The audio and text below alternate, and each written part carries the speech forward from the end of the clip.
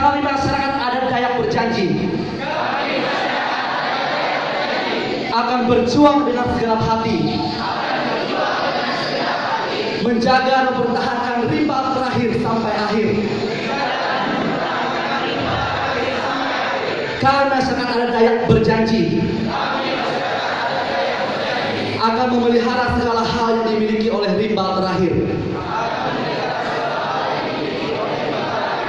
Kami masyarakat adat Dayak akan meneruskan semangat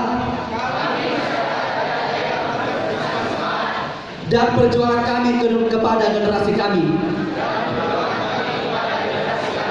Bumi adalah rumah kami. Hutan adalah ibu kami. Dan air adalah darah bagi kami.